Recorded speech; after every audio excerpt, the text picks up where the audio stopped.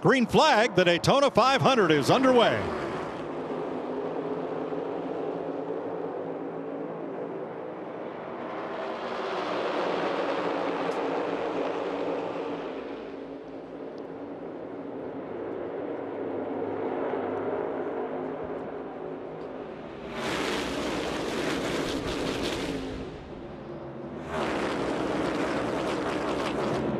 Still building speed in the back straightaway.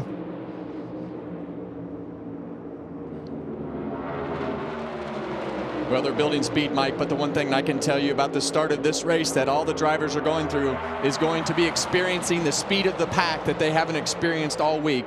All 40 cars in the pack, they've only raced against half the field so far, and right now they're all lined up, building speed, but speed that they haven't felt before this week.